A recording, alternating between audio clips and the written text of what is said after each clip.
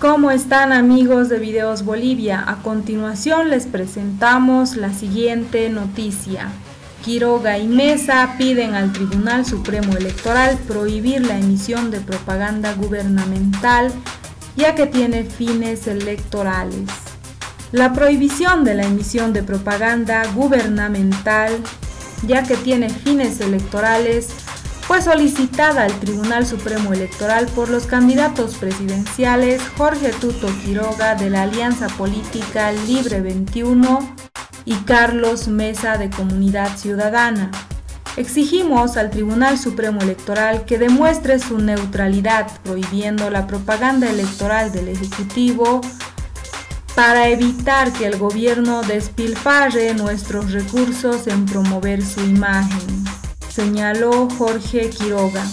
Entre tanto, Carlos Mesa sostuvo que el Tribunal Supremo Electoral debería limitar la propaganda del gobierno puesto que tiene un claro fin electoral y de promoción de la presidenta, además candidata Yanine Áñez por la Alianza Juntos. El candidato a la presidencia por Libre 21 advirtió que la candidatura del gobierno replica las malas prácticas del pasado y gasta millones de bolivianos en propaganda electoral. También señaló lo que aplica para muchos debe aplicar para todos. Exigimos que el Tribunal Supremo Electoral demuestre su neutralidad, prohibiendo la propaganda electoral del Ejecutivo y de todas las instituciones y reparticiones públicas para evitar que el gobierno despilfarre nuestros recursos en promocionar su imagen. Todos saben que en anteriores campañas electorales la propaganda gubernamental era mucho más que la asignación a los partidos y seguir haciendo lo mismo que el más es más de lo mismo. Tuto Quiroga también recordó que el Estado erogó 217 millones para la realización de las elecciones generales en octubre del año pasado, comicios anulados por irregularidades que favorecieron a la candidatura inconstitucional de Evo Morales, a quien tildó como tirano cobarde que se fugó a la Argentina por otra parte, Carlos Mesa consideró que el gobierno disfraza la campaña electoral con una excusa de la lucha por la emergencia sanitaria que hoy enfrenta Bolivia. E incluso la candidatura de Comunidad Ciudadana planteó que los medios estatales otorguen un espacio para difundir la propaganda gratuita de todas las candidaturas que participarán en las elecciones el próximo 6 de septiembre. Ambos expresidentes y candidatos coincidieron por separado en resaltar la decisión del Tribunal Supremo Electoral de no dar recursos para la propaganda electoral. Escuchemos cómo los candidatos Jorge Tuto Quiroga y Carlos Mesa expresan su petición al Tribunal Supremo Electoral para que limite la campaña gubernamental por parte del gobierno transitorio que además de tener a Yanine Áñez como presidenta, también la tienen como candidata por la Alianza Juntos. Primero la petición de Carlos Mesa por Comunidad Ciudadana, posteriormente Jorge Tuto Quiroga y luego continuamos.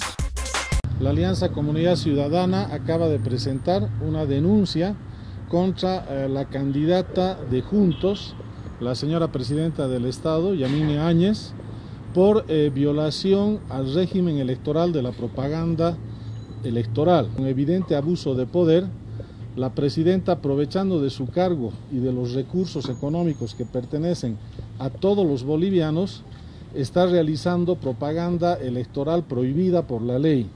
Nos referimos específicamente a spots y cuñas radiales referidos al tema de la donación de la mitad de su sueldo y referidos al tema de la reactivación del plan de empleo. Eh, se trata eh, de una promoción de su imagen como candidata disfrazada bajo la apariencia de actos de gestión que no tienen ningún contenido verdaderamente informativo de relevancia para los ciudadanos. Primero, la inmediata suspensión de estos spots y cuñas radiales en todos los medios de comunicación se apliquen las otras sanciones que establece la ley, entre ellas multas, por ejemplo. Cuando salió el cronograma y se anunció este, estos recursos, la posición y la anunciamos en varias entrevistas, es que era contradictorio y hasta doloroso para el pueblo boliviano ver que en un momento que enfrentamos la pandemia, que faltan respiradores, que faltan equipos de bioseguridad para policías, para militares, para médicos, para enfermeras, para la gente que está trabajando para traernos alimentos y medicamentos, era contradictorio. Imagínese usted estar a una familia en la puerta de un hospital viendo que no hay respiradores, viendo que faltan equipos de bioseguridad y en una pantalla mirando eh, propaganda hubiera sido hasta ofensivo. Pero lo que vale para muchos debe valer para todos. Sabemos que el MAS durante años ah, no, no, había o, cuando existía poco o algo de financiamiento de campañas de alianzas, más allá de eso, la propaganda del gobierno y de reparticiones públicas era cuatro, cinco o seis veces más grande. Lo que vale para muchos debe valer para todos. No sigamos las malas prácticas del MAS.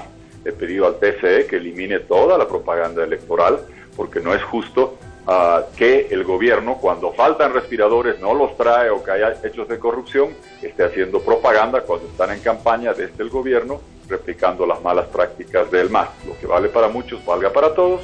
Y finalmente, que en la querella contra los anteriores vocales y los que hicieron el fraude, se agregue la tipificación de daño económico porque el 2019, entre las primarias de enero y las generales de octubre, erogamos 244 millones de bolivianos que hoy podríamos tener para atender la pandemia, que no sirvieron de nada, porque lo único que perseguían esos recursos, esas primarias, esas generales, era habilitar el cuarto mandato inconstitucional violatorio del referéndum de Evo Morales para que termine haciendo un fraude grotesco y monumental y terminamos con ese dinero perdido. Alguien debe responder por eso y en las querellas contra los vocales los uh, ministros que los ayudaron a hacer este fraude deben responder no solo penalmente por el fraude, sino por el daño económico que le hicieron al país.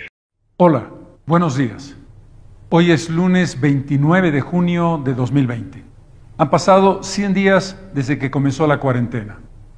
Hemos heredado, todos lo sabemos, un gran fraude de salud, el fraude masista que nos dejó inermes sin armas realmente para enfrentar la pandemia. Pero lo que ha hecho el gobierno no es alentador. Pregunta en el tema de la salud. ¿Qué pasó con las pruebas para certificar el número real de contagiados? ¿Qué pasó con los laboratorios en los nueve departamentos del país? ¿Qué pasó con los trajes de bioseguridad necesarios para el personal de salud y para el personal policial? ¿Qué pasó con las unidades de terapia intensiva que había que incrementar de manera significativa? Poco o nada. ¿Se han aplicado las medidas del gobierno? Se han aplicado los 1.500 millones de préstamos para conseguir y pagar salarios. Se han aplicado los 2.200 millones teóricamente para respaldar a quienes requieren en medianas y pequeñas empresas un apoyo. ¿Qué pasó con el comienzo del trabajo de los 600.000 empleos ofrecidos por el gobierno? ¿Y qué decir del despilfarro y de la corrupción? ¿Los respiradores artificiales son una respuesta? La propaganda del gobierno millones gastados en propaganda, que si el gobierno nos dijera a cuánto ascienden, nos quedaríamos abrumados por la cantidad de plata que se está tirando en vez de usarla en la lucha contra el coronavirus.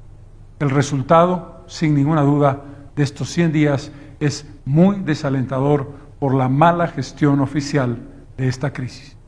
Esas fueron las palabras, por un lado del representante de Comunidad Ciudadana y por otro de Jorge Tuto Quiroga, quienes le solicitan al Tribunal Supremo Electoral que se limite la campaña electoral disfrazada de campaña por la emergencia sanitaria. El gobierno estaría gastando millones en esta campaña que estaría siendo tergiversada por las elecciones nacionales que también enfrenta Bolivia. Al respecto, te invitamos a dejar tus críticas y comentarios. ¿Será correcta esta observación? ¿Qué dicen ustedes? ¿Hay publicidad en extremo del gobierno con el fin de favorecer la campaña de la presidenta y candidata Yanine Áñez? No olvides dejarnos tus percepciones al respecto.